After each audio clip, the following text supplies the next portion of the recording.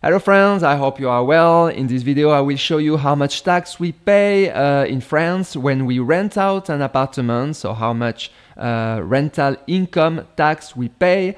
You know in France when you rent out an apartment you have uh, um, you need to choose a status, so you have different status, different possibilities and based on those status that you choose then you may tax, you may uh, pay a lot of tax or you may pay zero tax and I will show you how in uh, which context which circumstance what are the most um, what are the best status for your case so you can use this video. I will make some simulation and uh, talk about the different uh, status if you, if you want to have more information about um, the file that I'm using um, you can have a look in the description of the video. You will find my uh, website about tax declaration and tax optimization in France. This file basically um, help to, uh, to make the tax declaration in case of uh, regime réel. Regime réel is one status you can take when you rent uh, out an apartment in, um, or multiple apartments in, uh, in, in France.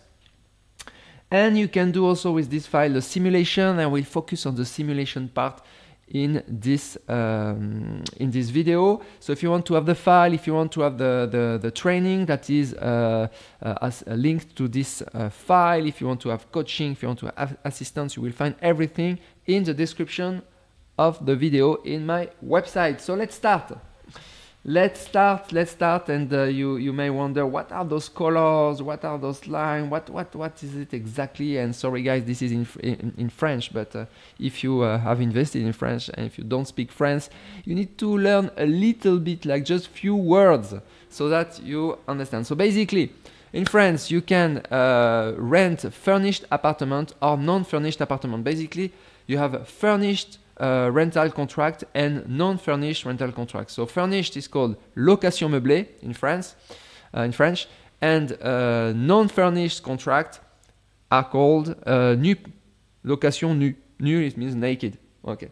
So basically, if in um, most of the most of the contract are furnished contract. Even though the, the, the apartment doesn't mean the apartment is like perfectly furnished, but at least like a bed, a table, a chair, and this, those are furnished contract. And most of uh, use furnished contract because uh, it's more flexible and they can earn more with uh, this type of contract. Um, that's it. So if you are in a furnished uh, you have a furnished contract, furnished, furnished rental contract, you have a furnished apartment, then then you have to choose. But you have to choose. Uh, depend on, depends on case, but basically you have different possibilities. First possibility called microbic, micro BIC, I, I, with, a, with the English accent. So this is one possibility. This is extremely simple, uh, but you, you, you will see that in, in, in this case, in case of microbic, you may pay a lot of tax. Second possibility is, second possibility is regime réel. It's like uh, real status, actual status. It's like you count everything. You count uh, the the expense. You count uh, uh, the depreciation, the amortization, everything. And with that, you can pay zero percent tax or just a little bit. Usually, you pay less. Most of the most of the time, with the regime réel, uh, you pay uh, less tax than in microbic, but it depends. It depends. It really depends uh, of your apartment, of uh, how um, profitable is your apartment. So let's have a look. Let's have a look with an example. Uh, it talks better than all my theory. So here, I take an example of an apartment which is 200,000 euro. Uh, the notary fees 14 um, so 200,000 uh, uh, notary fees 1400 14,000 sorry agency fees 10,000 um, and that's it. It's fifteen hundred for uh, like the the, the um, furniture in the apartment. But you know, it will not change much. You know, even if I put zero in the agency fees because you have no agent, it, it doesn't it doesn't change much. It just give you roughly what what are the, the the big difference in the simulation. So I go now to the simulation. I say okay for this apartment I get like nineteen thousand uh, euro of uh, rental per year.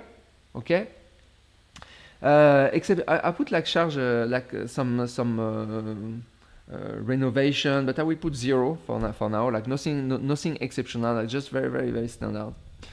Then after uh, salary, you know, if you are like foreigner, you don't declare anything in France, so I put zero. Then the the expense, the month, the um, yearly expense, you know, the management. Uh, if you have a syndic in France, so I put like 1,000 per year. Then uh, I've, I've uh, added like a mortgage, a small mortgage, but if even if I put zero, it will not change much because the interest rate here is one percent. No, no problem. So you can you can get the file, you know, and play and play with the file. Just uh, just drop me a, dro drop me an email. Um, so this is now the situation. So uh, basically, so this apartment is a, is, a, is a very very good one in the sense that uh, the, the the rent are still high. I put the rent a little bit lower, let's say, just to see, and you see the curve. So basically, the curve, the curve here, the black curve means régime réel. Okay, I make it simple. I will explain later what are the other colors. And for now, just focus on on the on the on the black one and the um, and the blue one. So you see the blue one is microbic. So if you if you uh, if you uh, if you have the status microbic, then you see you will pay uh, like a bit more for some years. So for some years, I mean like for 15 years. I mean for 15 years until 2035, the the the blue the blue line is above the the um, the black line. So, and after, actually, the, the black line is um, more important. I, I, I, forgot to tell you that the more important is, the more tax you pay. So you want to be as low as possible, but here you don't, you don't succeed to pay like zero. Let me change, let me, let me change a little bit and I put like the, uh, a higher amount here, for example, 300,000.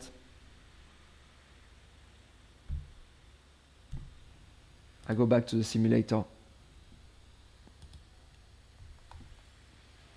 Okay, then I get, and then for the for the rental, I put like 800 per month. So you see, it really depends on your on your situation. So you see here, I put like a, a low, a low, uh, like like a Parisian, a Parisian an apartment in Paris or in the big cities. You pay like 300,000, then you get 900 euro a month, uh, and then you see that you are paying absolutely zero tax for almost 20 years with the régime réel. This is quite huge. And you can see that the difference is huge because you, uh, for the microbic, you are paying like 1,000 euro a year for 20 years. So we are, we are talking about like maybe 20,000 years, uh, 20,000 euro of difference over 20 years. I mean, this is this is huge, and and and the difference can be even even bigger than that. So how come it's possible? It's because microbic actually it's very simple. You uh, you have your rent, okay, and then there is a there is a, a cut of 50%, and you pay tax only on 50%. Now the point is that depending if you have um, tax resident in France or tax resident uh, um, uh, for, foreigner, uh, a foreigner like tax resident somewhere else, not in France, in uh, then you will not pay the same tax. Uh, if you are um, uh, abroad, then you pay like 20% off the 50%. So, so you need to compute a little bit. Uh, so ask me if you want me to, to make the computation properly. I can uh, I can do it for you, no problem. Um, so here is based on a, a, a tax resident in France. Uh, yeah, who is following this video, so probably don't speak French and and still want to invest in France, which I recommend a lot. So here we have, to, we have an apartment which, which have the yield of 3.6%. So it's like a Paris. Paris like 3.5, 3.5, 4, 4.5. So you don't get like 10% in Paris for if you buy just a simple apartment, simple studio apartment. My apartments in Paris, they are like uh, they, have a yield at uh, between 4 and 5%, no more. But on top of that, you get a, a capital gain, you know, like 3 to 4% per year. Yeah. So so you can see like the very very huge difference. So this is an option. You you, you can decide whether you you you take the microbic or the regime réel, but you have to know that there are some limits, and in some cases you don't have the choice. So that's why on the right on the right side basically I put what are the eligible the eligible status. You're not necessarily eligible to everything. So let me give you a little bit of of um, of um, of information. So you can, if you are like above 72,000 uh, euro of uh, of rent a year. So we are talking here about uh, still a lot of apartment, like maybe in Paris, like a studio, maybe it's like seven or eight studio apartments, and then you will reach uh, and then you have no choice. You need to be in the regime réel. This one.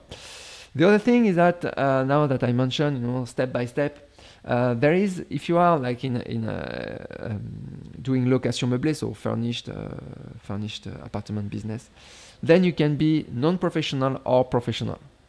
And basically, this part is important because the taxes are, are, not the same as you can see for furnished uh, for professional.